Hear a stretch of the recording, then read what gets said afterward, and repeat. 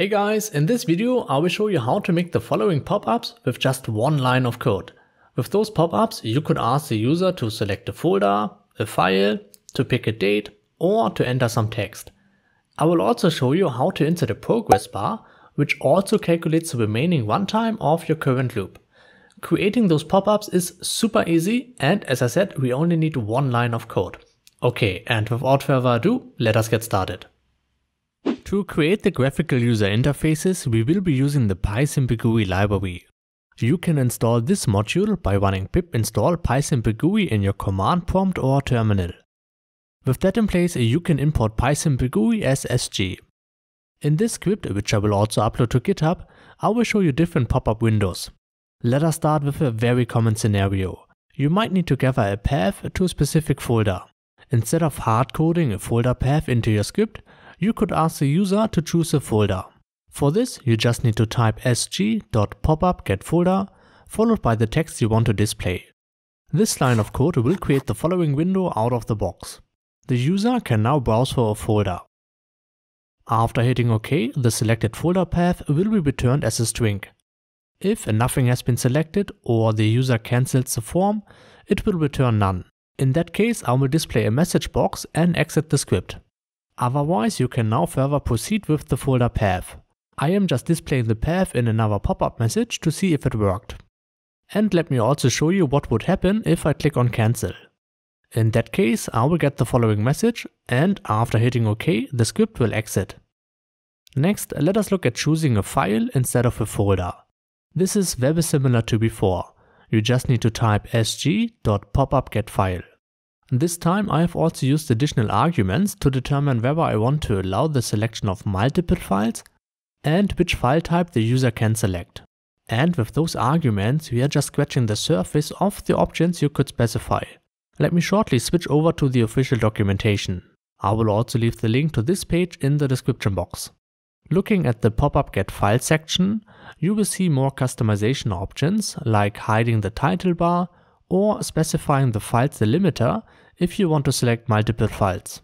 By default, the files will be separated by a semicolon. Also, I want to mention that in this tutorial I will not cover all the pop-up messages PySimpleGUI has to offer. Therefore, I would encourage you to take a look at the official documentation to see all the possibilities. And with that said, let me switch back to my Python file. When I execute the script, I will get the following window.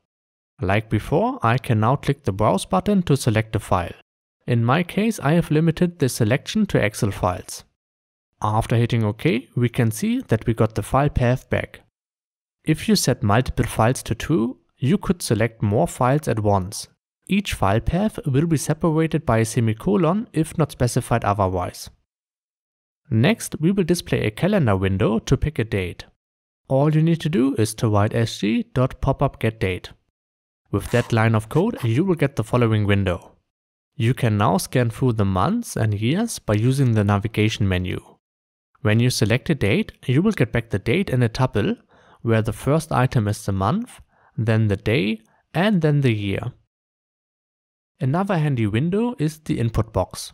Just type sg.popupGetText and you will see the following input box. If you click on cancel or close, PySimpleGUI will return none. Otherwise, it returns the text you entered. Okay, let us now move on to some very simple pop-ups. The first one I want to show you is a window with no buttons at all. If you run this line, the window will look like this. Alternatively, you could also create a pop-up with no title bar. By default, you can grab this window anywhere and move it around. Next, let us create a simple window with a text and an OK button.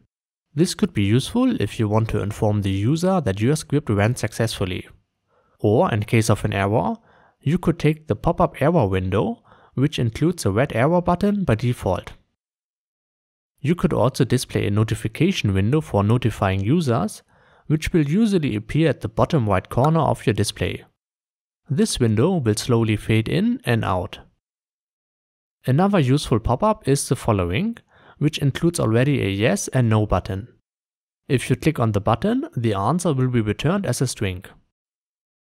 You could also easily make your own pop-up if you need further customization options. creating pop-ups can be accomplished in one line of code. First, you create a window with a title name, and then you can insert different PySimpleGUI elements, like a text, a yes and no button, or a custom button as I did here.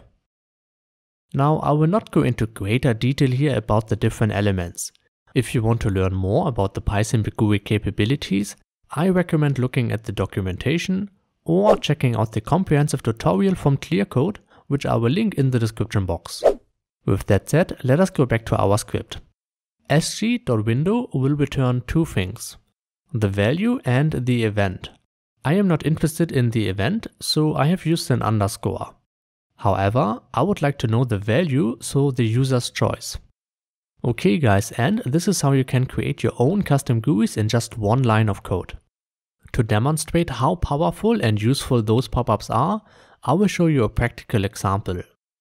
Currently, this Python file will iterate over this folder. Within this folder, the Python script will look for Excel files. Once it finds an Excel file, it will open up the workbook and create a separate spreadsheet for each worksheet. If you want to learn more about doing this, I will link the full tutorial to the info card above. In that video I used hard-coded file paths. Now I took the script and adjusted it as follows. I will now ask the user for the input directory. If the user does not click on cancel or close, I will convert the returning string into a path object using the pathlib module. I will do the same for the output directory, so this is the folder in which I want to save the new workbooks. Now opening up multiple workbooks and splitting each sheet into a separate file might take some time depending on how many Excel files you are dealing with. To keep the user informed about the current progress, I have included a one-line progress meter. This feature is pretty awesome and I'm sure you will love it. All I'm doing here is providing a title and the current index of my loop. To get the index, I am using enumerate. In the first iteration, the index will be 0, that is why I wrote plus 1 to show 1 instead. And then I only need to know how many iterations I plan to do. In my case, I get this information from the length of my list. And once the script is done, I will inform the user with a pop-up message. Okay, so now let me execute the script. First I will be asked to select the input folder. So let me select the folder and click on OK. Next I will specify the output directory.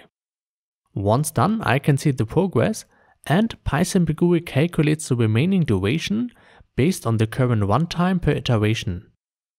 Once the script is done, I will get the following pop-up message.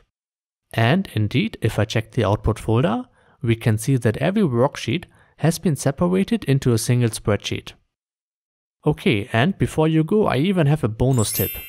Now that you know how you can use those windows to gather information from the user or display the current progress of the script, you might want to convert your Python script into a standalone executable file, meaning the user doesn't need to have Python installed to run your program. You could easily do this by using the PSG compiler.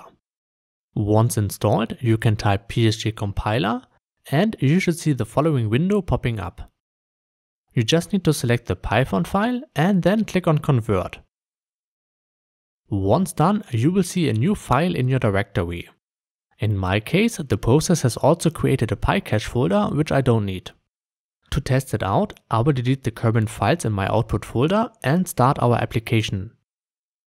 As before, I can now select the input and output folder. After that, I will be informed of the current progress.